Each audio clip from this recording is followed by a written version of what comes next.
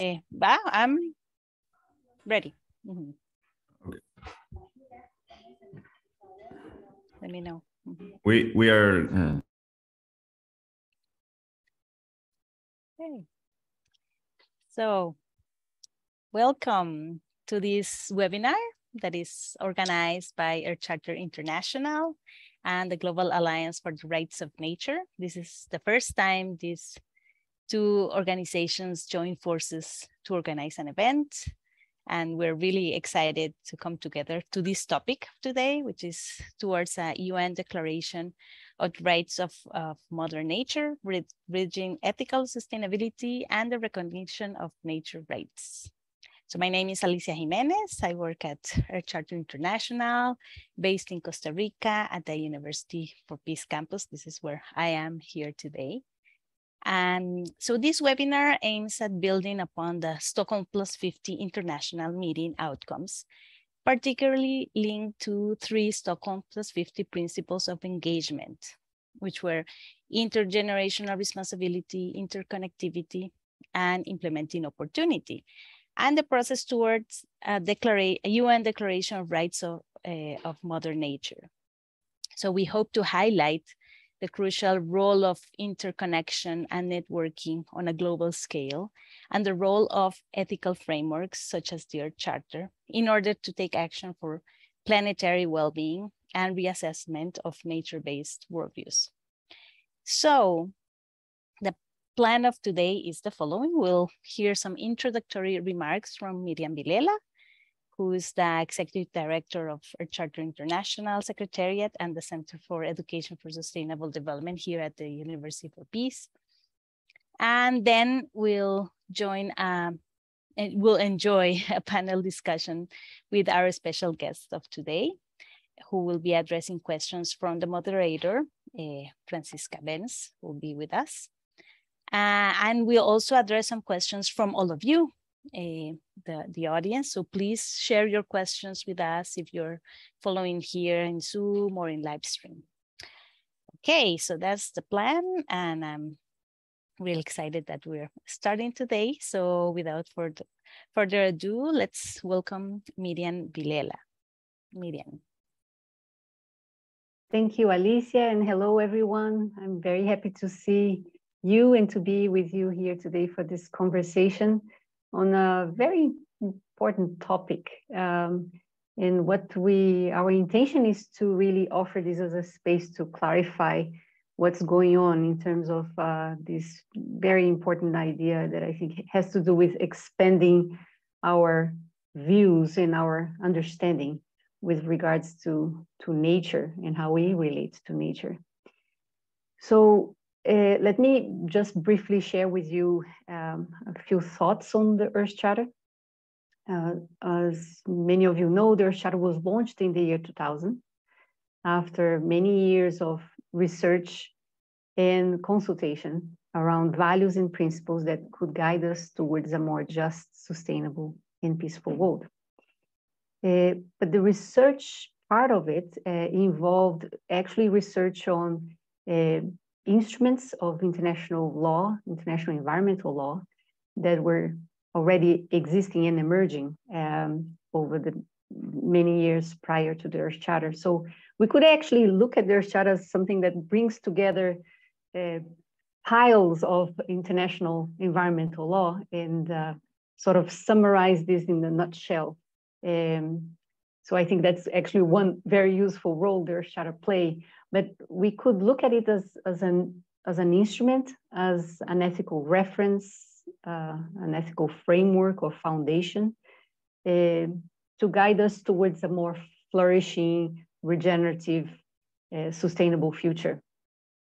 But for me, uh, one of the key roles the Earth has been playing, uh, and actually its purpose is to expand and deepen our consciousness, expand and deepen our consciousness uh, the way we see things and how, how we perceive things with regards to the community of life. So this notion of the community of life exists. We are part of this community of life. What does what does that mean? Feeling a part of the community of, of life and making this notion of community of life uh, alive and visible.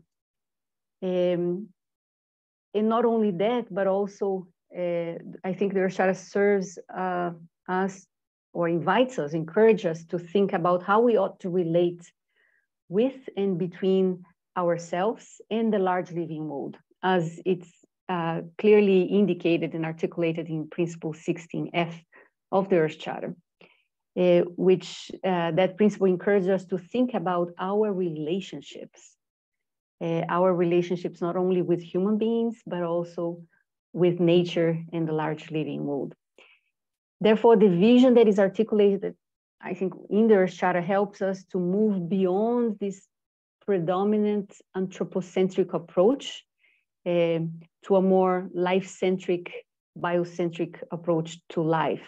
Um, so it, it really involves uh, change of mindset and worldviews uh, that I think has been helping us even to articulate in other spheres uh, over the last um, 20 years. For instance, I, I would like to give two other examples that are not explicitly or limited to, to our relationship to nature, but it has to do with uh, expanding our worldviews uh, that I think it's, is a way in which the Earth serves. So one is uh, this notion of when the Earth was launched uh, in the year 2000, the whole notion of how we of non-discrimination of any kinds, including non-discrimination of um, religion and sex orient, uh, sexual orientation, which is articulated in one of the principles of the Earth Charter. That in the year 2000, that was a quite new, relatively new approach. Now, 22 years later, it, I would say that the new generation has already pretty much embraced that notion, right? Uh, but that was not necessarily the case 22 years ago, right? In this, in terms of expanding our views uh, and, and sensitizing how we ought to relate to this notion of non-discrimination of any kind, including uh, religion and sexual orientation, right?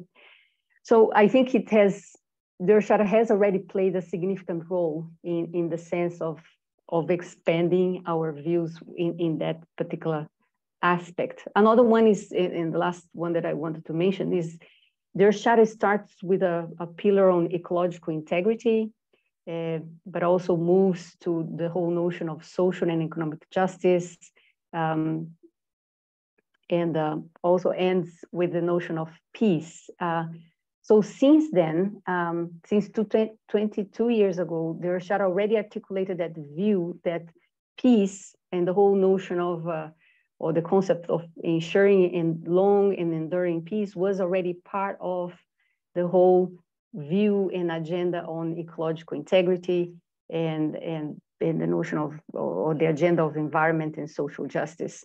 So a key aspect, I would say, uh, uh, a key added value that the Earth Charter brings is this comprehensive and systemic view of, uh, of life and how we ought to relate, uh, again, not only among humans, but with the large living world, uh, which uh, we are part of nature. Um, so I'm, of course, very intrigued and very interested with these new uh, possibilities that are emerging with regards to the rights of nature and how the Earth Charter could serve as, as an ethical foundation for this new era that we are living in terms of expanding our notion of rights and, and rights for other beings that, that are not only limited to human beings. So thank you so much. Thank you, Mirian that's wonderful. And yes, I also look forward to uh, for this conversation and learning more about this. So now we are we're going to move to our panel of today. Uh, I am also uh, for those who are here in Zoom, we'll find out if the chat is could be enabled. If not for the moment, if you can use the question and answers section to uh, interact and uh, send us your questions or comments. That would be wonderful. Thank you. And so, so yeah, so I want to introduce you to our moderator of today, and she will introduce our panelists. So our moderator is Franziska Benz. She's from Germany, a graduate student at the University for Peace, uh, currently pursuing her master's degree in Indigenous Science and Peace Studies, which is a very exciting uh, program here. And um, so welcome, Franziska, and I'll give you the floor to continue with the, with the panel. Yeah, thank you, Alicia, and good morning, good afternoon, good evening. Um, I'm currently in San Francisco, so a warm welcome from the United States. Um, it's a great privilege for me to um, facilitate the moderation today of the panel discussion. And before we start, I would to like to thank um, Mirian for these inspiring words and also already bringing in so many key aspects, for example, um, building a global community and shifting worldviews, turning conscience into action. So I'm very delighted to um, moderate today's panel and um, would like to encourage our global audience to use also the space of the chat and later on as alicia mentioned we will have a q&a with the panelists to use this opportunity not only to talk about building a global community but already um, going into exchange. And please feel free to provide any resources any comments and any questions. So Today's jointly organized webinar by the Global Alliance uh, for the Rights of Nature and Earth Charter International addresses, as Mirian already mentioned, a very crucial topic. It's a special event and it will create a momentum to examine linkages and to build bridges between ethical sustainability and the recognition of nature rights in the context of a UN Declaration of Rights of Mother Earth. And a proposal for such a declaration has been um, brought up at the Stockholm Plus 50 conference, who took place um, 2nd till 3rd of June this year. And it was delivered by the Rights of Mother Nature movement in support of the UN in Harmony with Nature program and the SDGs to formally engage in drafting and adopting a declaration of rights of Mother Earth. So what is the current status quo of such a declaration? But also where are the roots and what are the opportunities for the future? What is the vision that drives this movement? Um, with these questions um, that will be part of our panel discussion, I would like to warmly welcome our panelists. And today with us is Kathryn Gwiazdon. And Kathryn holds a Juris Doctor and Esquire. She's Executive Director of the Center for Environmental Ethics and Law a member of the steering committee of the Ecological Law and Governance Association of the Ecological Law and uh, Association and deputy chair and ethics specialists group of the IUCN World Commission on Environmental Law. She worked at the Center for Humans and Nature and served as the director of the North American Global Responsibility Program, moreover worked on Biosphere Ethics Initiative. In 2016, she founded the Center for Environmental Ethics and Law. She's globally teaching and involved in conferences to share her expertise and advance new frameworks in, amongst others, law, ecology, climate change, and ecological integrity. With her publications, she's exploring environmental ethics and non-state action, social justice, and amongst others, democracy. a warm welcome to you, Kathryn. And I also welcome um, Natalia Greene. She holds a master degree in climate change and promoted the recognition of rights for Mother Nature in Ecuador's constitutions. She has worked on the environmental and indigenous agenda and aspects of the Yasuni ITT initiative. Moreover, she's previous uh, previous pre president and currently vice president of the Ecuadorian Coordinator of Organizations for the Defense of Nature and Environment.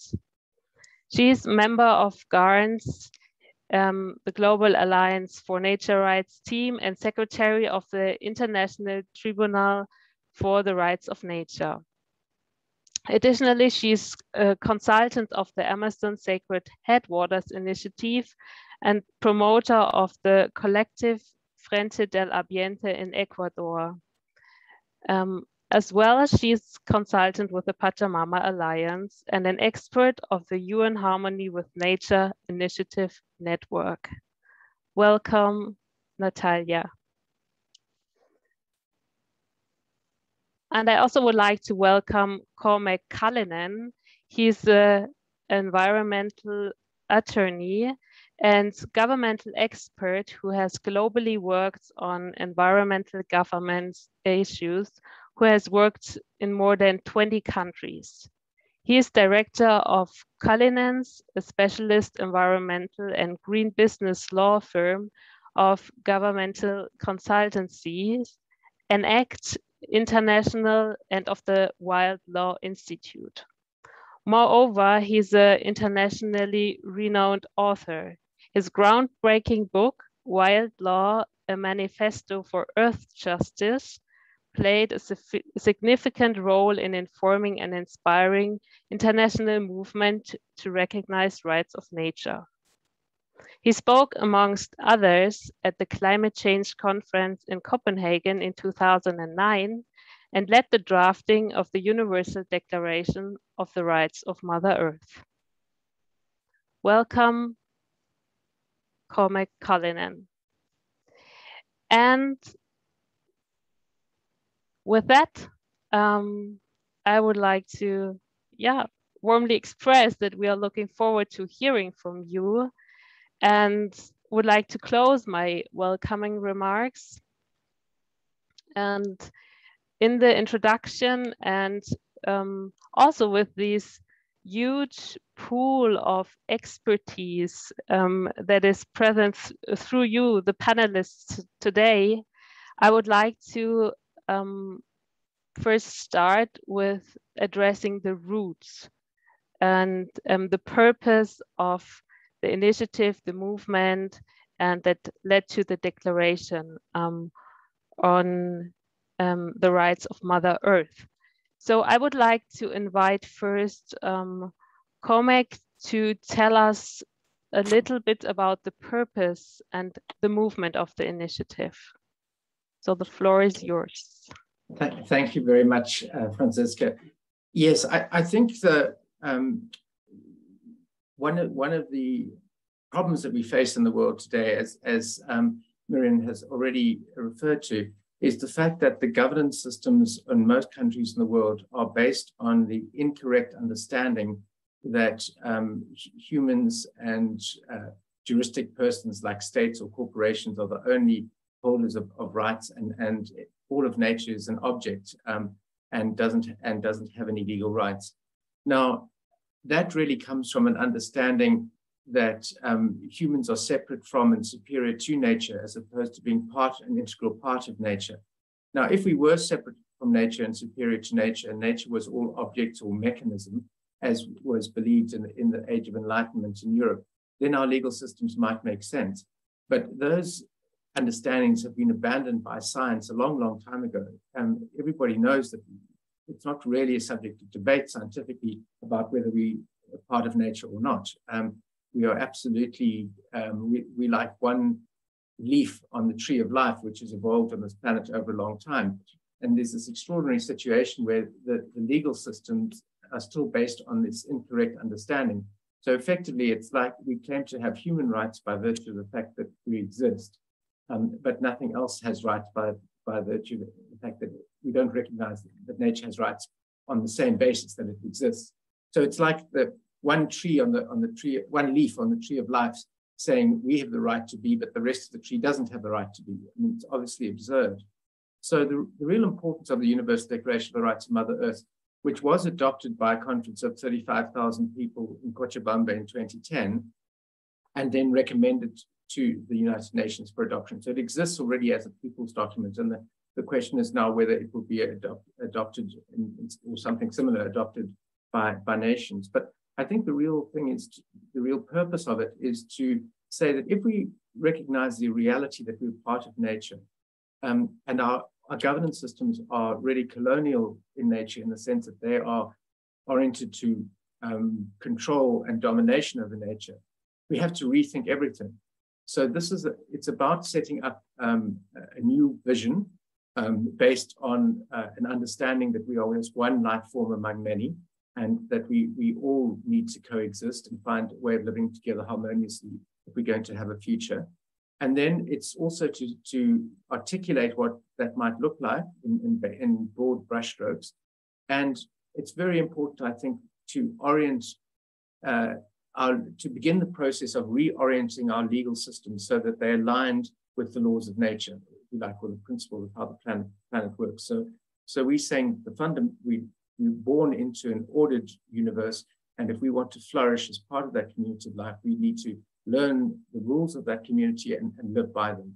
So it's very important, I think, is starting a process of reorienting um, governance systems as a whole and beginning the process of establishing new norms, both at the international level and at the national and local level.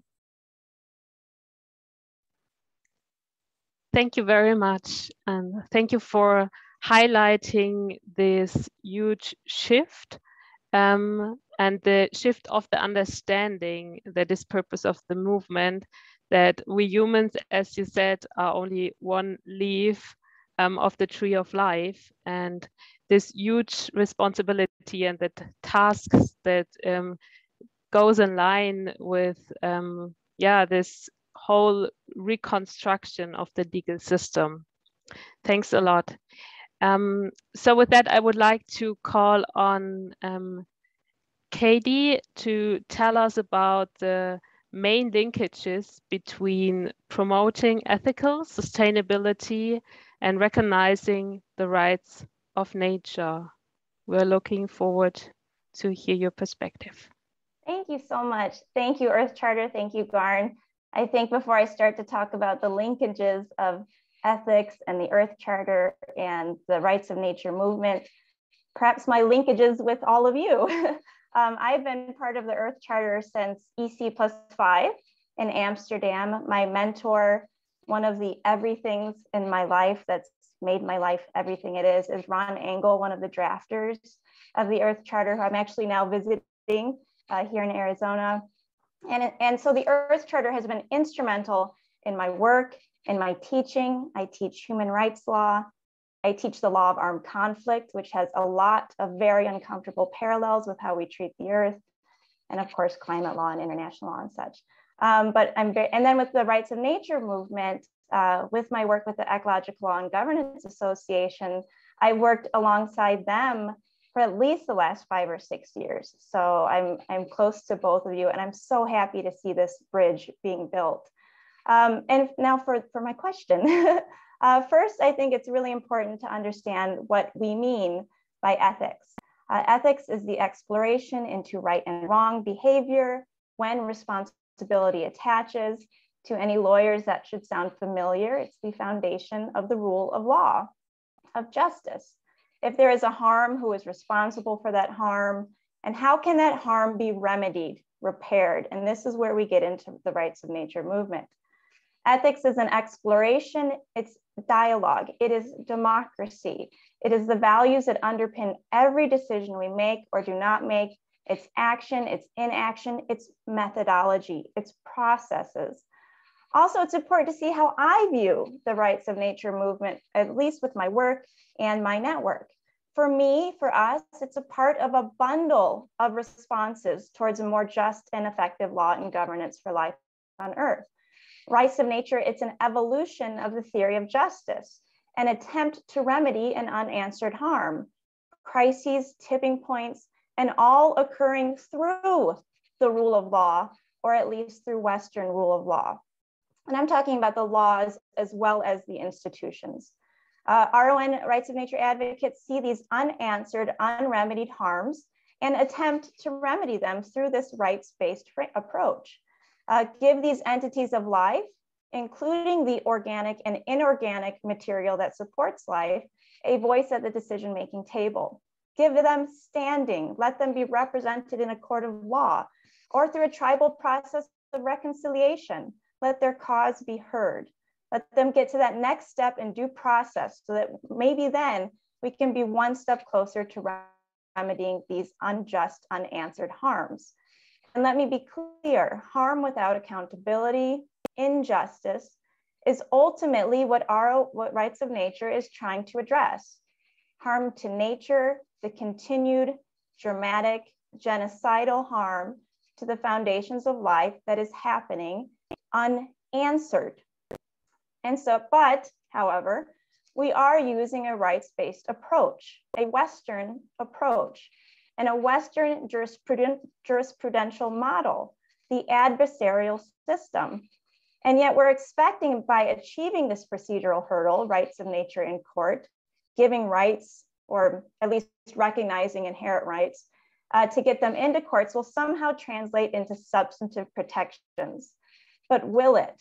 Do not those same underlying systems of harm, those same power imbalances that allow for unjust laws, unjust decisions, don't they still exist? And that is why ethics is crucial to all of this. Uh, procedure is not enough.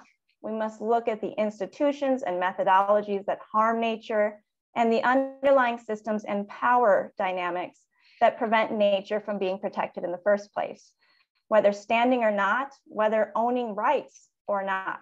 Even if we have the text on the paper, the rights and the law, you know, will the harm continue? What else must be addressed? I'm talking about hyper individualism and statist sovereignty. I'm talking about hyper competition in neoliberal economics. I'm talking about greed, power, corruption. If we wish rights of nature to not only overcome a procedural jurisprudential hurdle, we must also look for it to overcome the substantive jurisprudential hurdles. We must look to strengthen law and governance itself to even give rights of nature a chance to have a hope within our current rule of law. And with this, we cannot separate our efforts to protect life on Earth and ignore the necrophilic governance structures and power vacuums that work against life on Earth. And this is so much true for human rights as it is for any rights.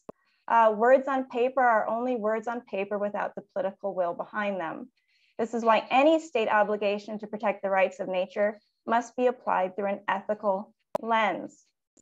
This, uh, and so for linkages, reinforce and reinforce and reinforce the fundamental principle of law, the duty not to harm.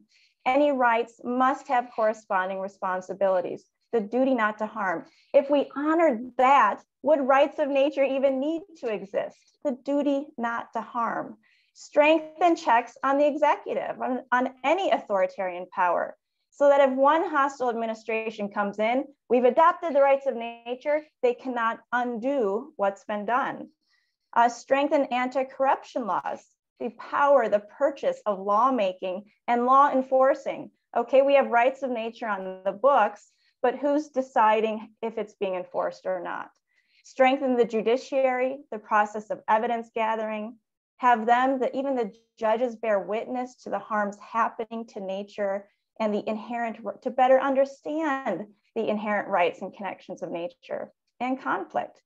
And most importantly, and I'll end with this, uh, strengthen individual and state and nature notions of relations. It's what Marian had said, relations, relational sovereignty, interrelatedness, interdependence.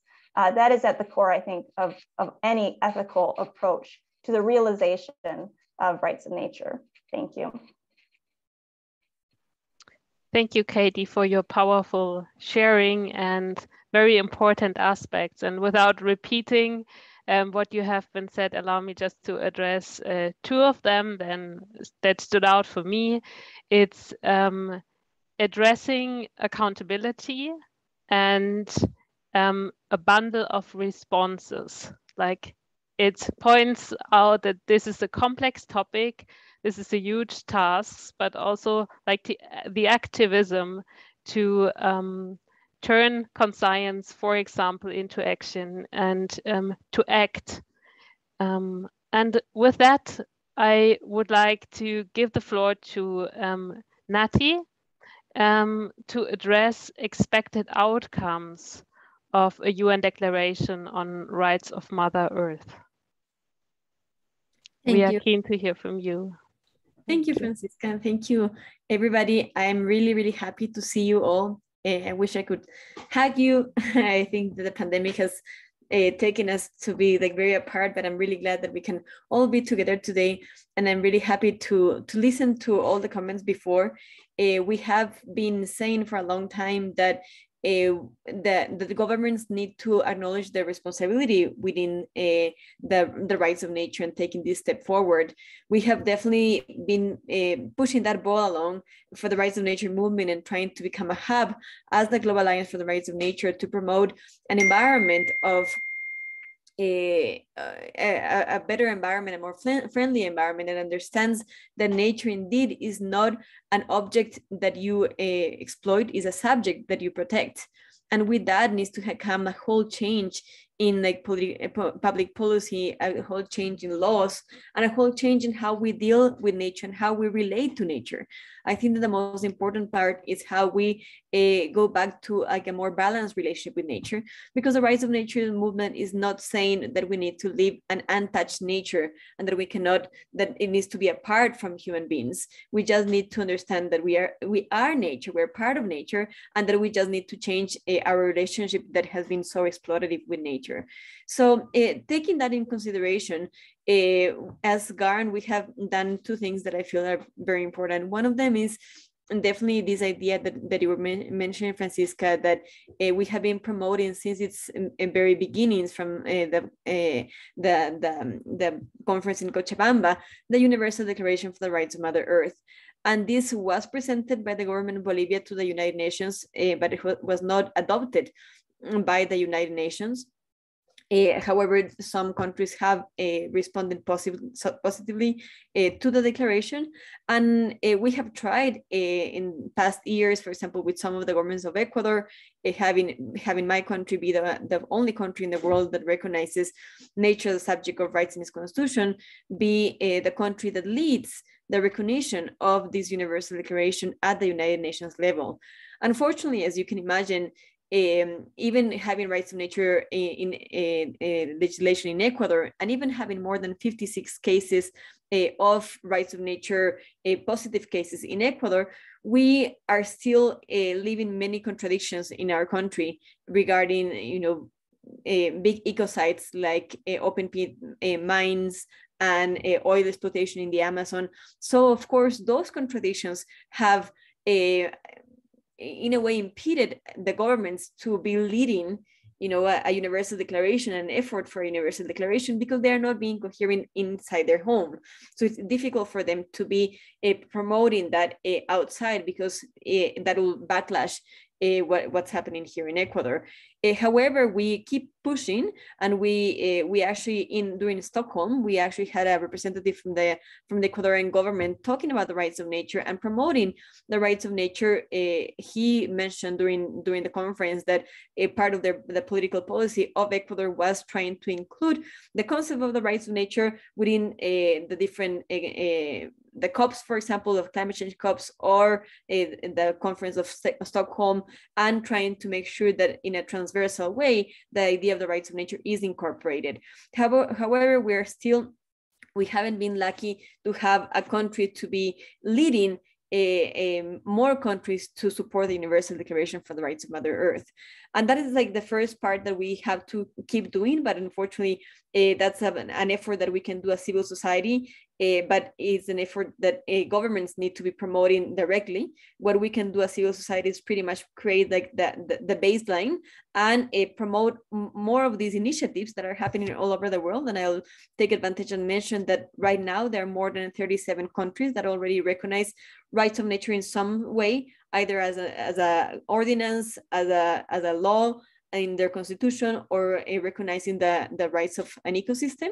So uh, I call this like an acupuncture on earth because we're trying to heal the earth with all these like different uh, strategies and these different cases that are happening around the world.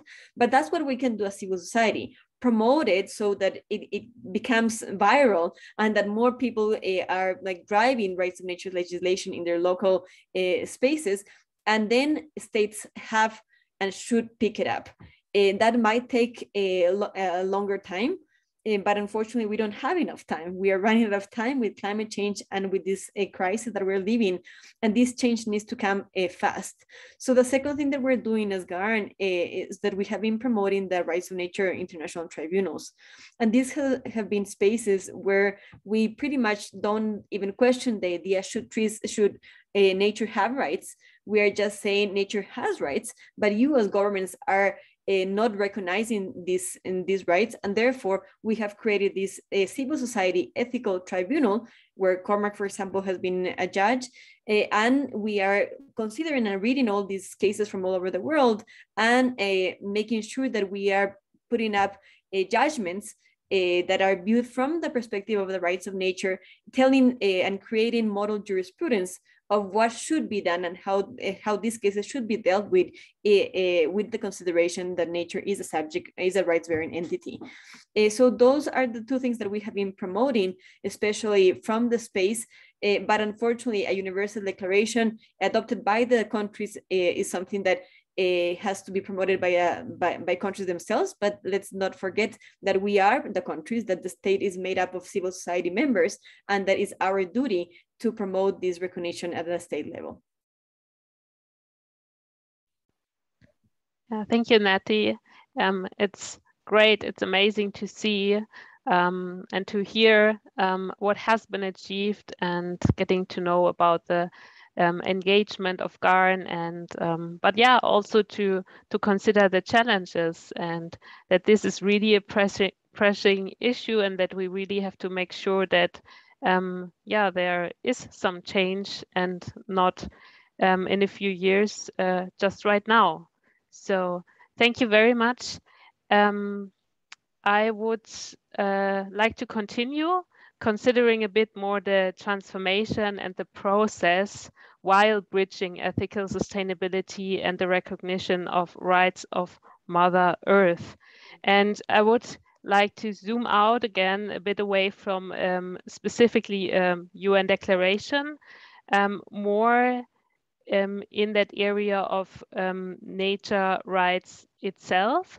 And I would like to invite Cormac again and we're keen to hear from you what has been the process towards granting legal rights or legal personhood to ecosystems. Which aspects have been and need to be implicit, implicitly considered to and um, to link it to your work um, to restore ecological perspective to governance systems and Earth jurisprudence. The floor is yours.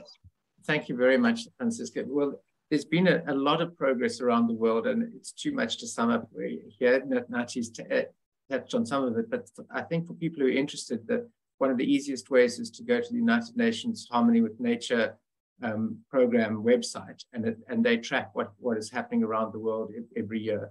So the UN Harmony with Nature um, program is a very good way of keeping in touch with that. But just to give a, a, a sort of overview, perhaps, um, as as Natalia has, has mentioned, our, our, view is that is that um, the rights, to, all that is, as Leonardo Boff said, all, all that has come into being has the right to be, and and everything that has evolved on this planet has its role to play in the health and integrity and completeness and beauty of the whole earth. And, and that needs to be respected. Now, so the, the issue is not so much whether those rights are there, but whether we recognize them or not. Um, and it's, in other words, it's, it's a question of removing the blinkers to see the reality. This, this is not an ideological discussion about, you know, left-wing or right-wing politics or something like this. This is about recognizing the, the reality that we only exist and are only capable of existing in relationship with the other beings within this incredible community of life within which we have co-evolved. So what's happened in some countries, there's been legislation. Uh, Ecuador, as Natalia has mentioned, is, is the prime example of the only country within, within the constitution, but other countries like Bolivia have passed national laws which recognize the, these rights. Um, then there have been countries like New Zealand, which have passed specific acts recognizing, for example, the uh, Whanganui River as, a, as a legal entity um, and national park and various other, other things. That, that has very much been driven by um, the, the Maori people um, uh, being successfully, successfully advancing their culture's concept of, of, of these particular areas. Um, then in other parts of the world, it's been the courts that have taken the lead. So in India, for example, Bangladesh, um, Colombia, the courts have, have made decisions where they have recognized um, the, that particularly rivers, um, uh, but also forests, are, are holders of rights, are legal subjects, um, and, and have, have certain rights. And then there have been many initiatives, citizens' initiatives, often at local government level, um, uh, and even municipalities around the world where people have adopted anything from declarations to charters to bylaws which, which recognize these things. But I think the most important thing here is to, is to recognize that we can't solve the problems that we faced, the, the ecological challenges of the 21st century, simply by using environmental law. Because environmental laws um, uh, really just adapt the existing system. They, they, they sit on top, top of the property law systems, but they don't change the fundamental idea that everything is, all of nature is, is treated as an object without rights um, and that most of the decisions that are made in relation to objects are made on the basis of economic considerations, not ecological considerations. In other words, if you're the owner, you can decide what to do with your property, and those decisions are normally made on the basis of whether you'll profit or, uh, in the case of the government, whether it will contribute to increasing the gross domestic product of the country. So the criteria for those decisions are, are wrong. Um, we, we need to prioritize ecological considerations um, above economic considerations when we're talking about preserving life, because life, that's what we're talking about. We're talking about preserving the conditions on this planet which enable life to flourish. And that is more important than, than um, the economy. It's not that the economy is unimportant, but it's not more important than life.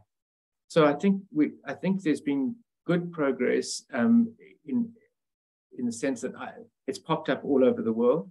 Um, sometimes it's been, you know, uh, our allies within the Global Alliance have, have driven it, but sometimes it's just, it's, it's arisen for other reasons.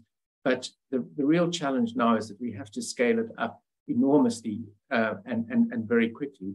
And um, I think it's going to be helped, unfortunately, by ecological crises, more hurricanes, more fires, more floods, etc., because people are going to see that this can't be fixed by tweaking the existing system. We need a completely different approach and an approach which is uh, more scientific and also recognizes the wisdom of those cultures that were good at living um, coexisting harmoniously on Earth. In other words, the indigenous people, because they all have uh, systems which, which recognize the need to respect other beings and to, to coexist harmoniously. So good progress, but a lot, lot more to, to be done and, and fast if we, we're going to um, avert some terrible ecological crises and, and social consequences. Thank you. Thank you for this sharing and that also echoes what has been already said that this is really something fundamental. And um, as you just said, um, environmental law is just one part of it, and there's much more behind it. Um, and it's about the recognition and about um, different worldviews, particularly the Western worldview, um, that has to be needs to be broadened to um, re-access a relationship, um, a different relationship where the human is part of nature and not the other way around. So um, yeah, I, at this point, I would like um, to invite the other panelists um, to step in to the conversation and um, if you'd like to add something and um, yeah, just if there's anything you would add, mention. I think particularly um, the point um, that just has been made about environmental law um, versus the rights of nature. It's an interesting um, aspect.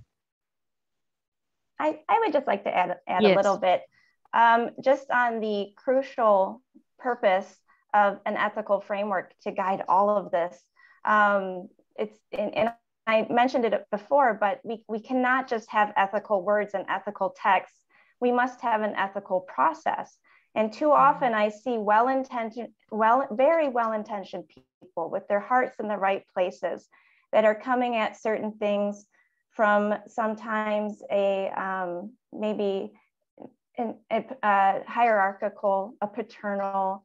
Um, we just have to be sure that with any tool for justice, any tool to heal harms, that we directly confront the systems of the past that have harmed.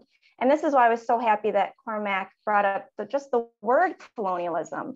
I just presented last week in Normandy, Normandy, a place of peace on earth, on uh, how we, can we decolonize international law. And this is part of it. And this is why we need a, an ethical framework moving it, um, where you know it has to be ground up, civil society based, drafted and advanced and evolved. It has to be living, constantly taking in diverse uh, perspectives, diverse voices. Uh, it cannot be seen as just some pet project of the wealthy, the Western, the white. Uh, and I know I, I'm looking at myself in the mirror with this, or even of academia. Uh, it will fail because that's the system that's brought us to today we continue that path. So we have to very intentionally act with principles of decoloniality with our approach to advancing any system that supports life on Earth. You know, directly, uh, uh, uh, directly confront issues that divide us like racism, sexism, the patriarchy, heteropatriarchy. I mean, the, and these are all part and parcel of the rights of nature movement, of any movement that protects life. We can't be seen as being in competition with other rights. And that's one of the issues we have to discuss with a rights-based approach. With a rights-based approach are countering rights, competing rights. How in the world can we come together and discuss competing interests? And only through ethics, duty not to harm, our responsibilities for all life on earth. Um, and just, just one more point just on, on the colonialism aspect. We can also not put the burden of healing on those we have harmed, and on, on those that have been harmed by the, the current system. So the fact that we often go to indigenous communities and try to literally, in some cases, unbury them. Uh, there needs to be a process of truth, honesty of the historical harms, and of listening and of accountability for our, our own bearing of these people that we're now going to to try to say, save us, save this, this life. Um, so there's, there's always these governance historical implications uh, with any path towards, towards life. So I just wanna make sure that that, that is at the forefront of all of this. So. Thank you, Katie, for um, bringing um, colonialism, uh, decolonialism, the, the whole debate to bringing it in. Um, very, very important aspects. Um, before we continue, I would like to ask uh, Nati if you would like to share your opinion and would like to add something. Sure, I like point. the discussion of what's happening with colonization because I feel that part of like the most important part of what we need to do is like decolonize our brains. You know, when people keep on asking us or questioning, should nature have rights? Or you know like are you do you want to give rights to the rock? Or here in ecuador remember the debate uh, for the constitutional assembly they said do you want to have like an ombudsman for the frogs or for the or uh, you know and and for the and for the crickets they were saying. And it's you know those uh, those questions i remember an argentinian woman saying like then you should go ahead and um, and take a volcano to to a court case if it decides to have an eruption and uh, you know affect the people around them when maybe the people around them shouldn't have built their houses around an active volcano. So you know just like there's it's it's very interesting to think that this idea of like we are the masters and we need to we have we have to colonize and we have to um, uh, pretty much use nature and and and domesticate nature. And when we open our minds and understand that that paradigm is like something that has been built and has been constructed and has been uh, uh, you know embedded into our system and that is not true you know it's not true. When indigenous people have been uh, who have like a different cosmovision a different worldview understand that nature is our mother understand that we are part of nature. And uh, I'm uh, I'll, I'll mention this this again because I've I've just read this book from uh, Suzanne Simard, Finding the Mother Tree, and it's really interesting, you know, to see, for example, how and the notion of the of the worldview of indigenous people is being confirmed by by science that trees talk, that trees communicate, that they have their own language, and that they are completely alive. So I think that we're at this point and this stage where you know science is coming together with indigenous knowledge, and people are waking up and facing a reality of a major urgency and then the change needs to come uh, urgently. So yes, we need to decolonize our brains, uh, and we need to to move forward to this new paradigm. Uh, sustainable development has not been enough. Uh, and that we have proved that uh, because the idea of sustainable development you know has been used in many ways as like uh, greenwashing of many co corporations and although we have had them you know since like the since stockholm since the first stockholm conference and a, a, bit before that, you know, nothing has changed. We have just been very resilient to just adapt to this like capitalist and consumerist uh, model of development uh, and not really uh, change our perspective of how we deal with nature. But we not have to do that change now. It's urgent to do so. Uh, otherwise, there's not even like a, a, a, you know a hope for humanity.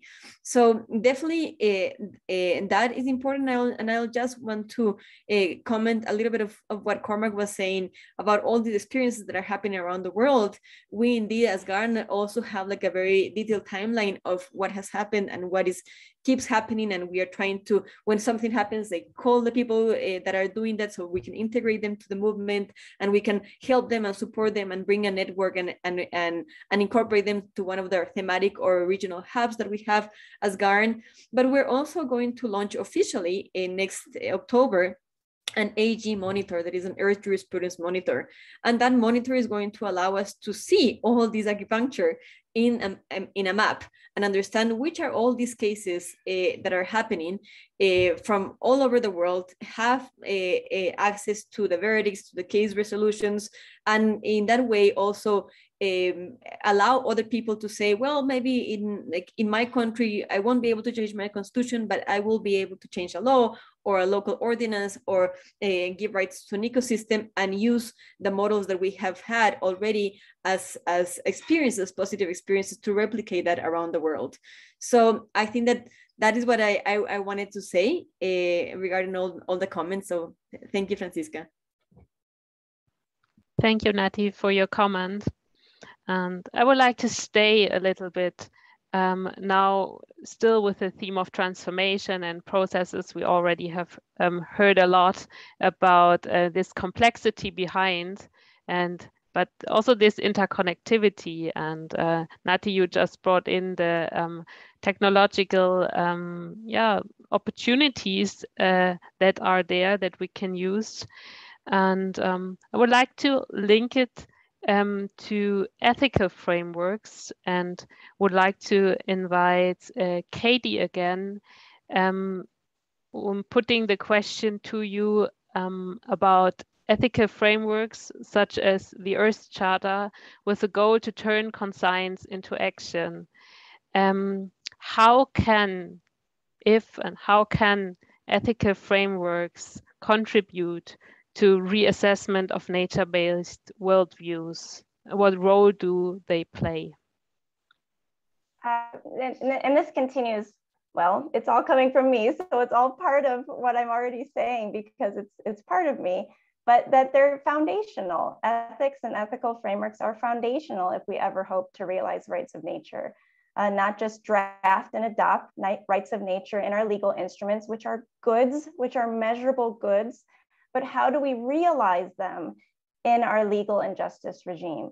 Uh, incred incredibly complex questions arise when unpacking rights of nature or any rights-based approach. With rights, like I said, you'll have countering rights. Uh, so how do we address countering in interest between species or even habitats, ecosystems, whether they're man-made or not man-made, invasive or not invasive, uh, harm indigenous or not, harm, harmful to humans? I mean, how do we how do we balance countering interests? What about the inherent right of a virus, um, of, of, systems that harm humanity, um, of, of natural systems? Nature can be, we speak of nature often romantically, but for many, it's a landslide, it's a flooding, it can be incredibly powerful. Uh, so we really need a dialogue around a lot of these complex issues uh, to fully realize.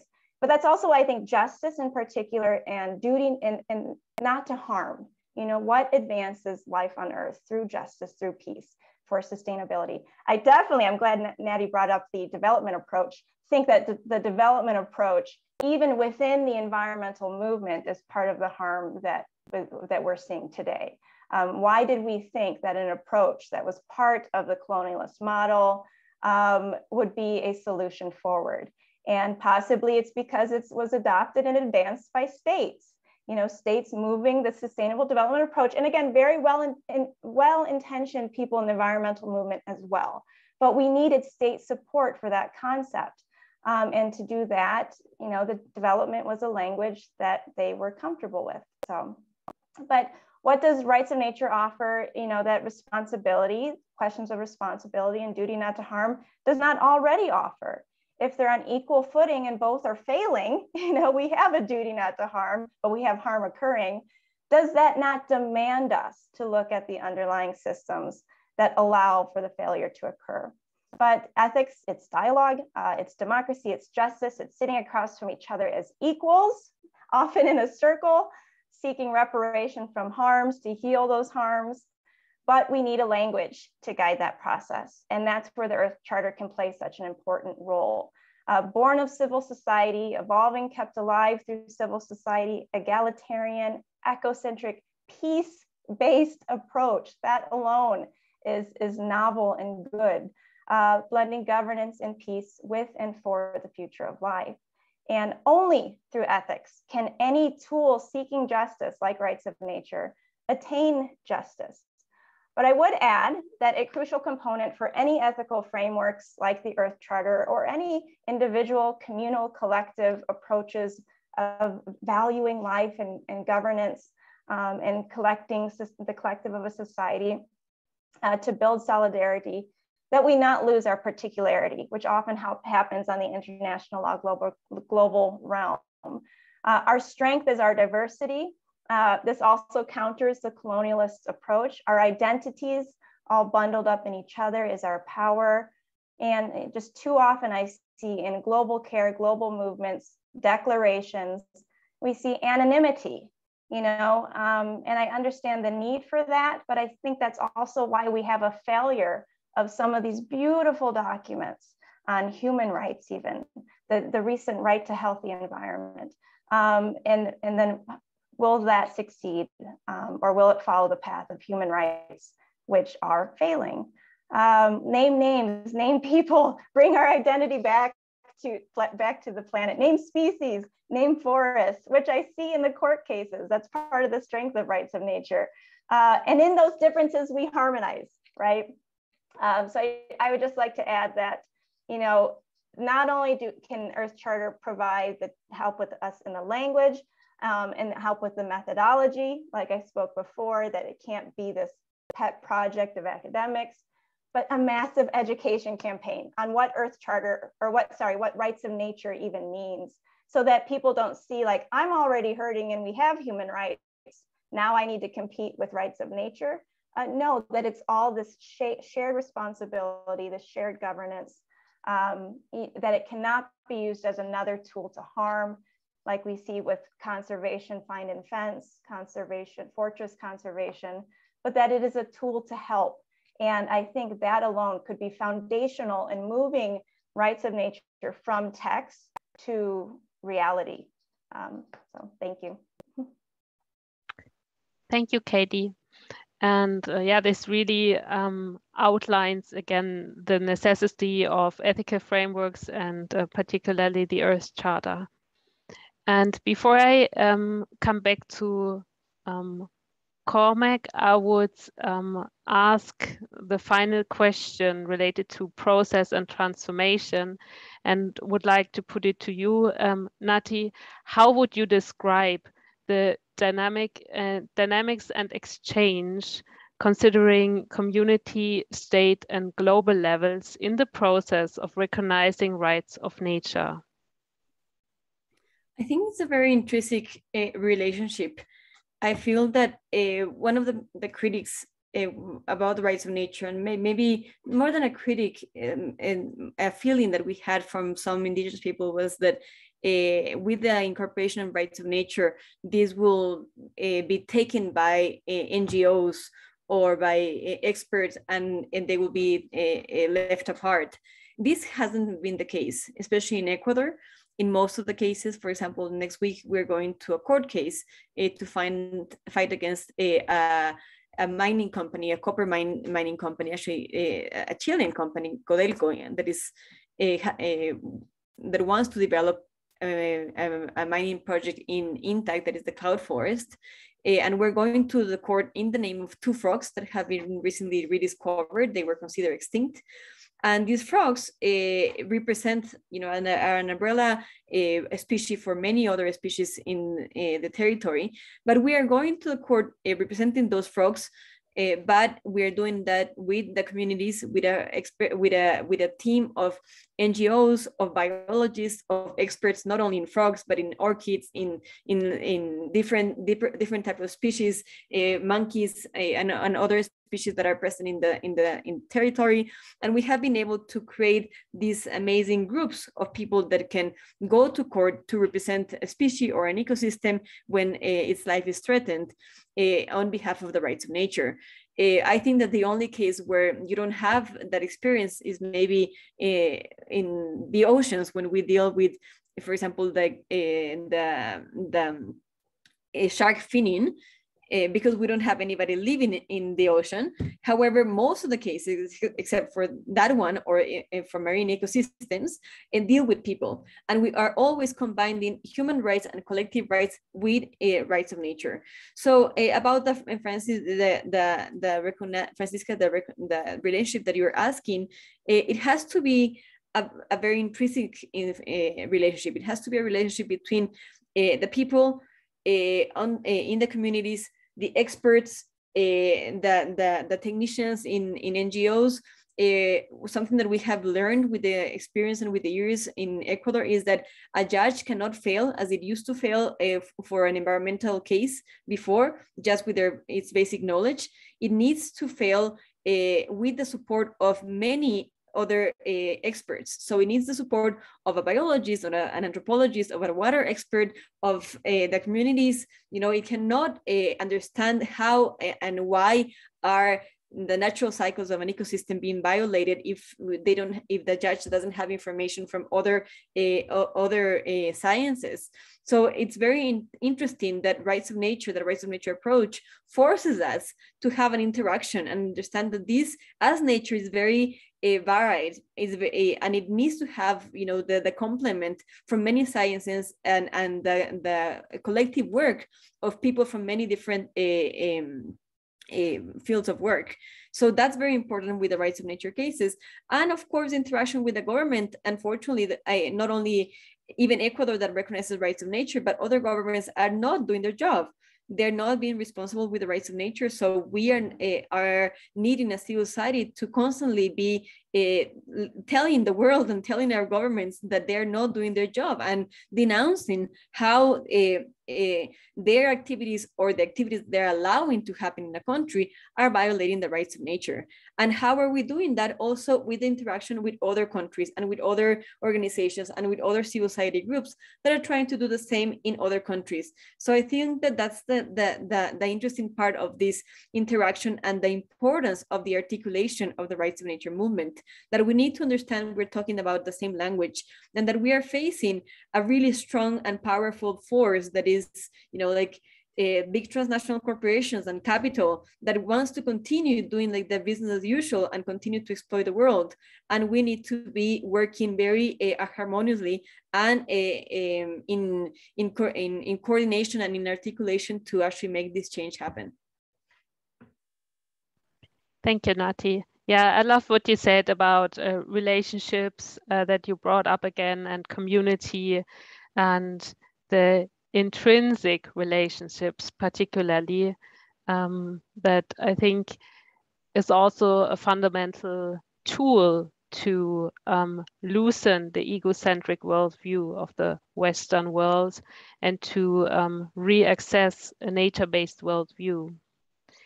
So with that, um, slowly wrapping up the conversation, I would like to invite Cormac again um, and ask what would be needed at UN level, of at the regional, national level, and on a global level to recognize the rights of nature.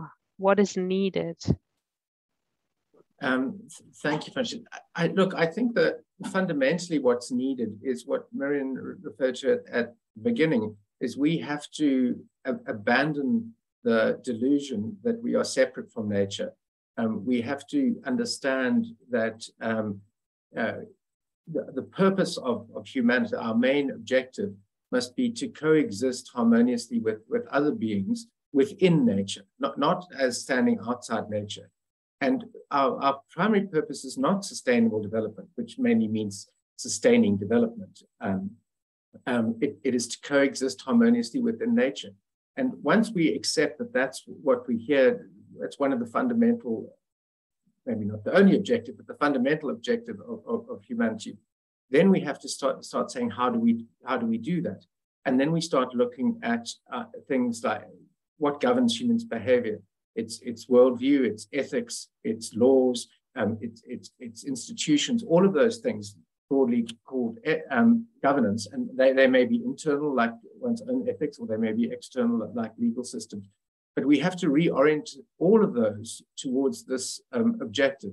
And we have to ask ourselves, um, and when there's a conflict, uh, Katie's referred to conflicts, of course, rights always conflict, and um, the whole e the, the global ecosystem would collapse if things didn't eat each other.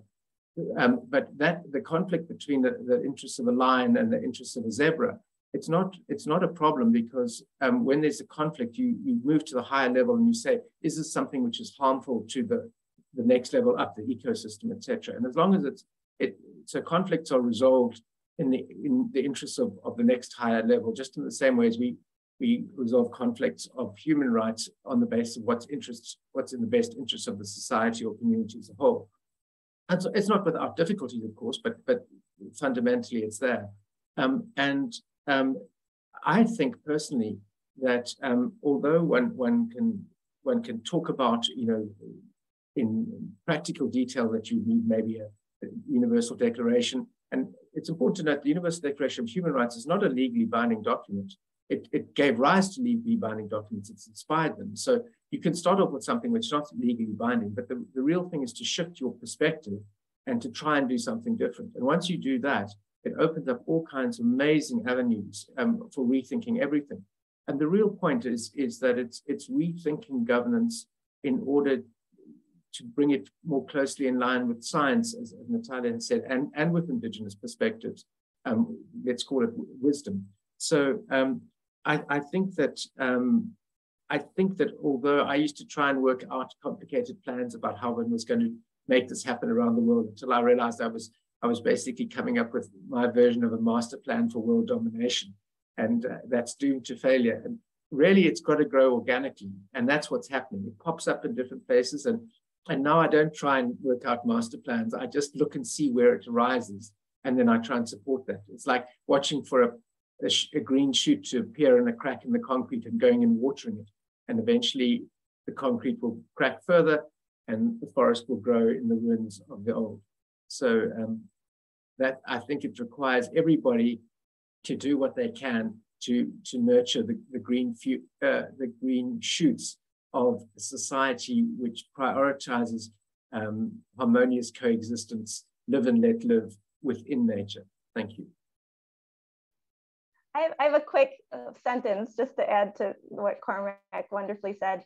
So you spoke about human rights as non-binding instruments moving, or any document as a non-binding instrument moving to a binding. But in human rights law, that's how we see all human rights. They already exist, even without a non-binding document. And it is the obligations of states, of those in power, to write them down, to enforce them. So perhaps that's a, that's a good that we can take to the rights of nature movement. They already exist. It's the obligation of states or those in power to recognize, write them down, and enforce them. That, that, we agree, Kate. That's why we don't say granting rights of, of nature, we say recognizing, because they already exist. It's just a question of articulating them. Yeah, thank you, Cormac. Thank you, Katie, um, for these inspiring words and controversial discussion. And I would like to um, give the floor to Nati again um, for a final comment. Final comment. Um, you've already spoken about the expectations um, of a declaration um, on rights of Mother Earth, but we're also keen to hear from you. What are the expectations for following up on the international meeting in Stockholm? Thank you, Franziska. Uh, I think that we have very large expectations. We are really hoping that this movement will become mainstream. I think that we're still uh, breaking through the system and it's still, uh, we're still presenting this as a paradigm shifter, but people are still very, eh, capitalism is very resilient. And eh, people are still very um, I will say, comfortable with the idea of using nature and exploiting nature and accumulating uh, products of nature and, and, and wealth, although you know that a country that a drives into a inequality and poverty but people are not thinking about that. They're thinking of how do i become rich and not about who's becoming poor and who and what is a, a who's suffering from that. Not only a disposable people but disposable nature and disposable places sacrifice zones. So uh, we need to still change that paradigm and to do that we need to become mainstream. So this movement needs to grow a lot and the perspective that we have is that we really make this like big huge uh, leap and and uh, I will say in in a, in a way go into absolutely every country, every organization, every social movement, and incorporate the idea of the rights of nature. I think that people are already are not questioning any longer if nature should have rights or not, or at least uh, more people are uh, more friendly, more uh, accepting the idea in a, in a better way.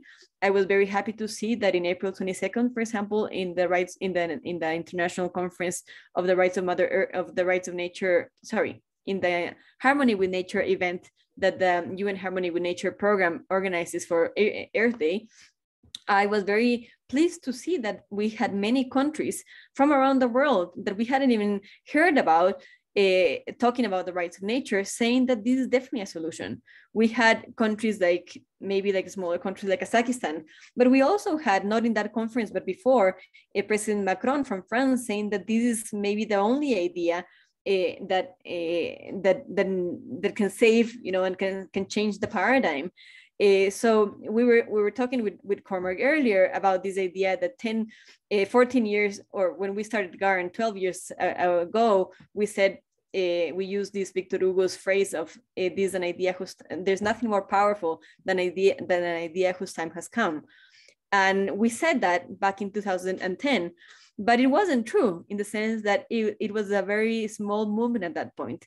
And i know think now that the movement is growing so much that we are actually having difficulty keeping track of what's happening around the world with the rights of nature movement. That is definitely a, a, a, its time has come. And uh, what we need is just to foster that movement and support that movement and and educate more and more people so this can can go faster and faster. So i see that as a big perspective I that is why I I really uh, encourage everybody who's listening to us to to join, for example, the Global Alliance for the Rights of Nature, because what we are is an alliance. We are not an organization. We are a hub. We are an articulation of people who want to share their experiences of what they're doing with the rights of nature and and really uh, take this to all the different corners of the world. So I I see that as a perspective, and I really hope that we have these champion countries that can really lead the transformation uh, transformation also at a governmental uh, stage because right now I think it's still a very important idea. It's becoming very prominent with uh, with social movements, but it's still uh, uh, only showing up at the international negotiations. But it's happening and it's coming, and we need to be prepared to just support that change and and have that change be positive in the sense that you know people can say as you were saying earlier and Kathryn you know like there we are uh, we still cannot uh, guarantee human rights and now we're talking about the rights of nature like what is this? And it's pretty much understanding that it's nothing nothing extra. It's just a recognition that we cannot guarantee humans right human rights if we don't guarantee nature rights and that we're talking about the same thing and that it's true we are not going to be able to change the world in one day and uh, with the with rights of nature legislation we're not going to be able to guarantee those rights uh, and the, the, execution of those rights uh, completely but we have not been able to do so with the human rights either uh, but that's not a reason not to implement and recognize that nature is a rights bearing entity. So I think that that's very important to uh, allow the movement to grow, to be connected, and that articulation is what is going to allow us to really uh, accompany this growing movement. That is where I see things are going to, to, to happen and that are going to come. And I'm really uh, hopeful that this will be, uh, this will happen especially because I heard already many governments, as I was mentioning, talking about this idea, not only civil society, and I think we are ready, or we should be, because we don't have time. Yeah, thank you, Nati. Um, I think um, your vision, what you just shared, it's a beautiful place to end. There's a lot of hope, there's a lot of work. Um, but yeah, there's a, a, lot of efforts that have been already taken and um, there's a lot of motivation and it's very motivating and inspiring to listen to all of you. And I also want to use uh, this point to um, deeply acknowledge indigenous peoples and I know that also some indigenous peoples are um, yeah, online here just right now. And I think what brought up the conversation that including myself as part of the Western world, we can just listen and engage with deep respect. Um, yeah, with gratitude that uh, a lot of wisdom has been, um, yeah, has been kept for so long and um, there's so much of resilience um, that has been yeah and is ongoing and um, yeah just um, sitting down and listening in gratitude and moving forward. So um, as of uh, saying this i um, yeah would like to say goodbye from my side. It was a great privilege to facilitate this moderation and um, I would like to hand it over to Alicia for the Q&A. Mm-hmm. Thank you. But only Franziska, you can I'll stay. we'll continue to have your inputs. But uh, but it's, it's great to see that there's some comments and questions as well from from some of you here. And one was from, uh, it's from Jessica Den Outer. And he says, is Bolivia still trying to promote and advocate for this UN declaration or did it leave it be? And there's, and so maybe the three of you uh, can, can uh, think about if you have a, a an, an answer. And, and then uh, there's also one question uh, from Tim Lash. And it is, it's, I, am gonna read it, it's, it's a bit longer, but uh, it says, seeing nature as a set of objects has led to a typology typology of natural objects, individuals, populations, species, ecosystems, and a scientific challenge to define their boundaries in practical exams and in principle. This is in, needed in an antagonistic system of rights and responsibilities. To support rights in a relational worldview, a typology of natural relations, typology which is amenable to scientific elaboration in practice and principle, and to ethical discourse and experience. So his question is, what leads are available toward an ecological and legal typology of natural relations? So let's see if, if one of you would uh, like to answer those questions. Uh, okay, there's another one. There's other comments that I will see how to put them live. I think eh, if, if all of you, because there are some also from Lizzie Adams.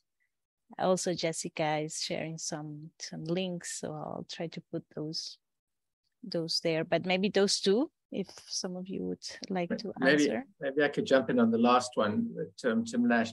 Look, I, I think I think he, Tim raises a very good point. You know, the, the the language of rights and duties is relatively crude, and as he points out, can be quite antagonistic. Um, um, it's the language of, of the mainstream legal systems, and certainly indigenous understandings, like referring to all of my relations, are much more subtle and accurate in the sense that they both emphasize the relatedness, um, all our relations, and also the quality of that relatedness.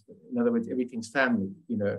And and I think you, my experience in, in speaking with Indigenous people about these things is that if, if I, am not sure they would have a typology, but I think that they would say that, um, and this is maybe my understanding, I'm not trying to speak on behalf of Indigenous people, but is that what we're wanting to do is to live as human beings in a way that is very present to this community of life um, and that is intimate with it.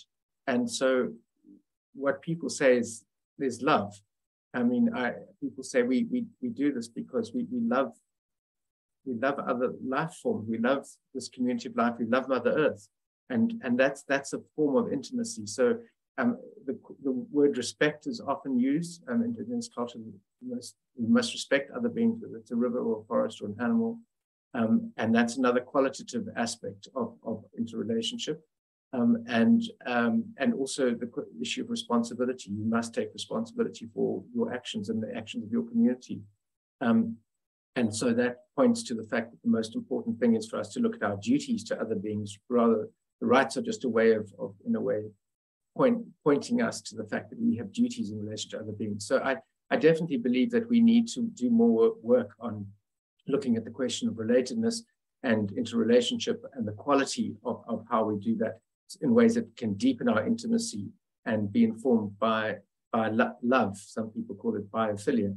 But um, I think that is uh, over whether one has a, a detailed typology or not. I think that's what's fundamental to it all. Thank you. Yes, I think Katie. and, to say something. Okay. Uh, Na Nati as well. I didn't uh, see your hand, Katie. Sorry. I, I just, were you speaking to? Oh, sorry, to Bolivia or to follow up Cormac? I was speaking in Bolivia, but you can start oh, if you. Okay, no, you you go Bolivia, then I'll take us back full circle. okay, I just I'm just going to be very very uh, short in my answer. Uh, Bolivia indeed uh, started with the with the rights of nature with the Universal Declaration for the Rights of Mother Earth in 2010. It incorporated the rights of nature into the, the declaration as a law. It has a law for the rights of Mother Earth as well. It's it doesn't recognize the rights of nature in its constitution, but it has these two uh, national laws to promote the rights of nature. And as you can remember, during the time of Evo Morales, uh, this was really promoted at the, at the UN level. Uh, unfortunately, this has stopped in the sense that we do know that, for example, this government, with the actually with the leadership of Coche, Choquehuanca, the vice president, is trying to promote the idea of the rights of nature, but definitely not with the strength that it used to uh, at the time uh, when the United Nations, with the with the People's Declaration uh, for the Rights of Mother Earth happened back in 2010. So we definitely know that Bolivia is an ally uh, we know, of course, that Ecuador is an ally, although, as I was saying, it has like these internal uh, contradictions. But uh, we are hoping and, you know, still looking for a country that can be this champion to promote the Universal Declaration and even go to those 37 countries that have rights of nature incorporated in, in their country somehow to be able to promote this idea. And I feel that it could be a success, but we definitely need a, a, a committed country that is um, coherent uh, to be able to lead this. And unfortunately, uh, Ecuador and Bolivia had not uh, have not been these actors as we have expected. So we're still looking for that, and hopefully that will come maybe from one of the, these two countries, or maybe from another country that wants to take the lead. Katie. I'll, I'll start with love and end with love. I love the question about the typology of, of rights. And what we how i phrase that is the language of rights of, indi- of individual often individual rights.